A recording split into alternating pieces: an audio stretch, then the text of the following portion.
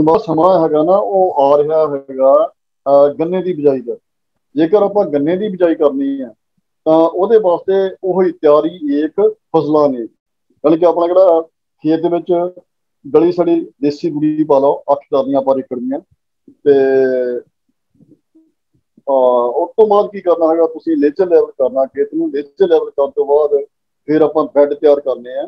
ਜਿਹੜੇ ਬੈੱਡ ਕਰਨੇ ਤਿਆਰ, ਉਹ ਸਟੈਂਡਰਡ ਬੈੱਡ ਕਰਨੇ ਆ ਤਿਆਰ। ਸਟੈਂਡਰਡ ਬੈੱਡ ਕਿਹੜੇ ਆ? ਜਿਹੜਾ ਟਾਈਮ ਟੂ ਟਾਈਮ 4 ਫੁੱਟ ਹੈ। ਯਾਨੀ ਕਿ ਹੱਥ ਤੋਂ ਹੱਥ ਦੀ ਜਿਹੜੀ ਦੂਰੀ ਆ, ਉਹ 4 ਫੁੱਟ ਤੇ ਇਹਦੇ ਨਾਲ ਕੀ ਹੋਏਗਾ? ਜਿਹੜਾ ਹੈਗੀ ਖਾਲੀ ਆ, ਲਗਭਗ 1.5 ਫੁੱਟ ਦੀ ਬਣੂਗੀ ਤੇ 2.5 ਫੁੱਟ ਦਾ ਉਹ ਬੈੱਡ ਬਣ ਜਾਊਗਾ।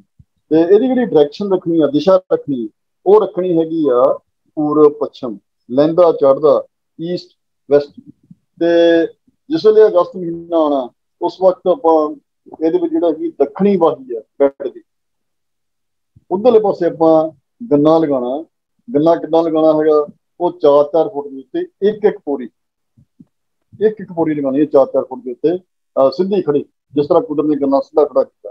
ਅਸੀਂ ਜਿਹੜੀ ਜਿਹੜੀ ਜਿਹੜੀ ਫਗਵਾੜਾ ਤਕਨੀਕ ਹੈ ਸ਼ੂਗਰਕੇਨ ਕਲਟੀਵੇਸ਼ਨ ਦੀ ਗੰਨਾ ਬਜਾਈ ਦੀ, ਇਹਨੂੰ ਅਸੀਂ ਯਾਨੀ ਕਿ ਇਹ ਵੀ ਕਹਿ ਸਕਦੇ ਹਾਂ ਕਿ ਗੰਨੇ ਦੀ ਖੇਤੀ ਦਾ ਕੁਦਰਤੀਕਰਨ ਯਾਨੀ ਕੁਦਰਤੀ ਕਰਨ ਤੋਂ ਭਾਵ ਆ? ਤੇ ਗੰਨਾ ਜਿਹੜਾ ਆ, ਉਹ ਯਾਨੀ ਕਿ ਨਾ ਸਿੱਧਾ ਖੜਾ ਵਾਦੀ ਗਰੋ ਕਰਦਾ। ਤੇ ਜਿਹੜਾ ਹੈਗਾ, ਜੇਕਰ ਆਪਾਂ ਦੂਜੇ ਪਾਸੇ ਦੇਖੀਏ ਦੇਖੀਏ, ਖੀਰਾ, ਘੀਆ, ਖਰਬੂਜਾ ਹਦਵਾਣਾ ਯਾਨੀ ਕਿ ਵੇਲਾਂ ਜਿਹੜੀਆਂ, ਉਹ ਸਾਰੀਆਂ ਲੰਮੀਆਂ ਪਈਆਂ, ਹੌਲੀ ਗਰੋ ਕਰ ਕਰਦੀਆਂ। ਜੇਕਰ ਕੁਦਰਤ ਚਾਹਦੀ, ਤਾਂ ਗੰਨੇ ਨੂੰ ਵੀ ਲੰਮਾ ਪਾ ਸਕਦੀ ਸੀ, ਪਰ ਉਹਨੇ ਇਸ ਤਰ੍ਹਾਂ ਨਹੀਂ ਕੀਤਾ ਹੈਗਾ, ਗੰਨੇ ਨੂੰ ਸਿੱਧਾ ਖੜਾ ਕੀਤਾ। ਆਪ ਹੁਣ ਆਪਾਂ ਇਹ ਦੇਖਦੇ ਆ ਵੀ ਜਿਹੜੀ ਖੇਤੀ ਆ, ਜਾਂ ਕਾਸ਼ਤਕਾਰੀ ਆ, ਉਹ ਨੈਚੁਰਲ ਫਨੋਮਨਾ ਯਾਨੀ ਕਿ ਕੁਦਰਤੀ ਵਰਤਾਰਾ। ਆਪਾਂ ਕੁਦਰਤ ਦਾ ਕੁਦਰਤ ਨਾਲ ਜਿੰਨਾ ਸਹਿਯੋਗ ਕਰਾਂਗੇ, ਉਨੀ ਆਪਣੀ ਖੇਤੀ ਵਧੀਆ ਹੋਊਗੀ। ਹੁਣ ਆਪਾਂ ਗੰਨੇ ਦੇ ਮਾਮਲੇ 'ਚ ਕੀ ਕਰਦੇ ਆ ਆਪਾਂ ਗੰਨਾ ਵੱਢਦੇ ਆ ਗੰਨਾ ਵੱਢ ਕੇ ਆਪਾਂ ਲੰਮਾ ਪਾਣ ਲੱਗ ਪੈਂਦੇ ਆ ਕੁਦਰਤ ਨੇ ਕੀਤਾ? ਉਹਨੂੰ ਸਿੱਧਾ ਖੜਾ ਕੀਤਾ। ਤੇ ਆਪਾਂ ਦੂਜੇ ਪਾਸੇ ਦੇਖੀਏ ਕਿ ਜਿਹੜੇ ਹੈਗੇ ਪੱਤੇ ਆ ਫੂਡ ਫੈਕਟਰੀ ਆਫ ਦੀ ਪਲਾਂਟ ਹੈ।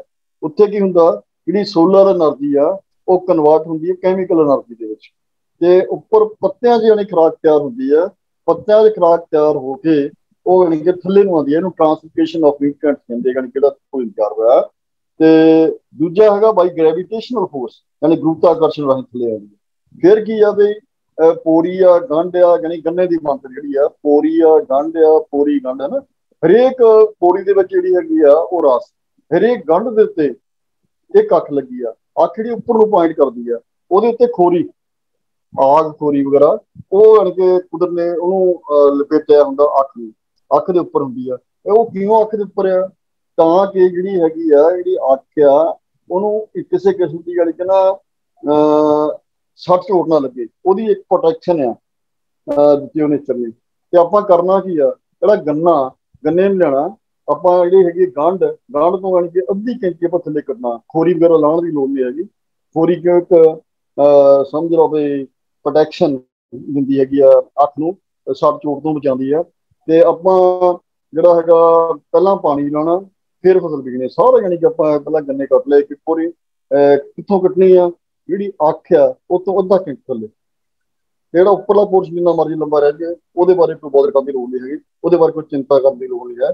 ਤੁਸੀਂ ਪਾਣੀ ਲਾ ਰਿਆ ਜਿੱਥੇ ਯਾਨੀ ਕਿ ਸਲਾਬਾ ਚੜਿਆ, ਪਾਣੀ ਦੇ ਲੈਵਲ ਤੋਂ ਉੱਪਰ, ਉੱਥੇ ਤੁਸੀਂ 4-4 ਫੁੱਟ ਦੇ ਉੱਤੇ ਦੱਖਣੀ ਬਾਹੀ ਦੇ ਉੱਤੇ ਗੰਨਾ ਲਾਣਾ ਤੇ ਕਿਉਂਕਿ ਹਜੇ 1 ਮਹੀਨਾ ਬਾਕੀ ਆ ਤੇ ਹੁਣ ਆਪਾਂ ਖੇਤ ਹੁਣੇ ਤਿਆਰ ਕਰ ਲੈਣੇ ਆ ਆਪਣੇ।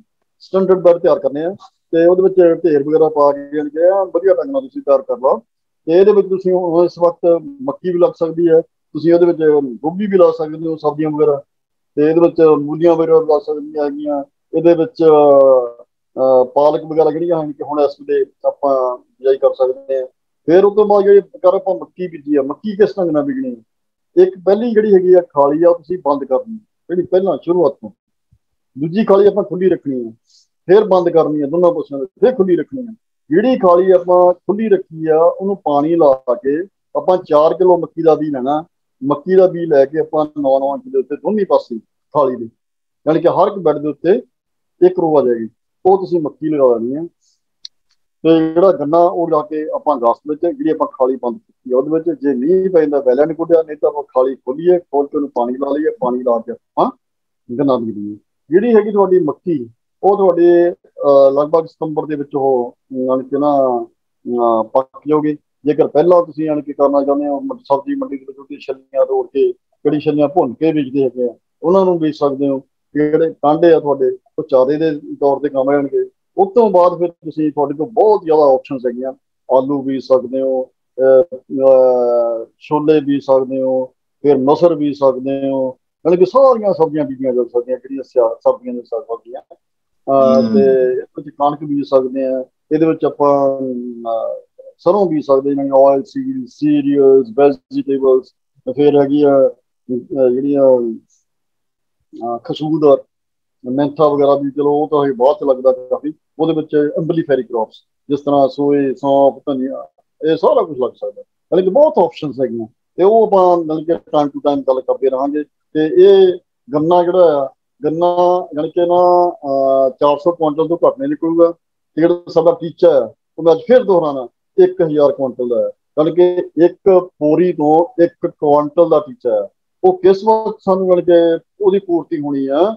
ਜਿਸ ਵਕਤ ਸਾਨੂੰ ਜਿਹੜੇ ਜੀਵਨ ਦੇ ਪੰਜਾਂ ਤੱਤਾਂ ਦੀ ਜੁਡੀਸ਼ੀਅਸ ਮੈਨੇਜਮੈਂਟ ਕਰਨੀ ਹੈਗੀ, ਕਾਰਗਰ ਪ੍ਰਬੰਧ ਕਰਨਾ ਆ ਗਿਆ, ਤੇ ਪਲੱਸ ਜਿਹੜਾ ਆਰਗੈਨਿਕ ਮੈਟਰ ਆਪਣਾ ਖੇਤ ਦੇ ਵਿੱਚ ਪੂਰਾ ਆਪਾਂ ਕਰਦੇ ਆ, ਉਸ ਵਕਤ ਯਾਨੀ ਕਿ ਇੱਕ ਪੋਰੀ ਤੋਂ ਇੱਕ ਕੁਆਂਟਲ ਦਾ ਗੰਨਾ ਆਪਾਂ ਨੂੰ ਲਾਜ਼ਮੀ ਮਿਲੂਗਾ, ਤੇ ਯਾਨੀ ਕਿ ਨਾ ਕੋਈ ਯਾਨੀ ਕਿ ਅਤਕਥਨੀ ਨਹੀਂ ਹੈਗੀ, ਤੇ ਇਹਦੇ ਵਿੱਚ ਆਪਾਂ ਨੂੰ ਕੰਮ ਕਰਨ ਦੀ ਲੋੜ ਆ, ਸਮਝਣ ਦੀ ਲੋੜ ਆ ਕਿ ਆਪਾਂ ਯਾਨੀ ਕਿ ਜਿਹੜੇ ਜੀਵਨ ਦੇ ਪੰਜ ਤੱਤ ਆ, ਉਹਨਾਂ ਦੀ ਜੁਡੀਸ਼ੀਅਸ ਮੈਨੇਜਮੈਂਟ ਕਿੱਦਾਂ ਕਰੀਏ, ਉਹਨਾਂ ਦਾ ਕਾਰਗਰ ਪ੍ਰਬੰਧ ਕਿੱਦਾਂ ਕਰੀਏ, ਜਿਹੜੀਆਂ ਬਾਕੀ ਫਸਲਾਂ ਹੈਗੀਆਂ, ਉਹ ਆਪਣੀਆਂ ਜਿਹੜੀਆਂ ਸਾਰੇ ਖਰਚੇ ਚੱਕਣਗੀਆਂ, ਤੇ ਜਿਹੜਾ ਗੰਨਾ ਆ, ਉਹ ਤੁਹਾਡਾ ਤੇ ਇਹ ਜਾਨੀ ਕਿ ਗੰਨੇ ਦੇ ਬਾਰੇ ਸੀਗਾ ਤੇ ਬਾਕੀ ਜੇ ਹੋਰ ਕੋਈ ਕੁਐਸਚਨ ਹੈਗਾ ਤਾਂ ਉਹ ਤੁਸੀਂ ਪੁੱਛ ਸਕਦੇ ਹੋ।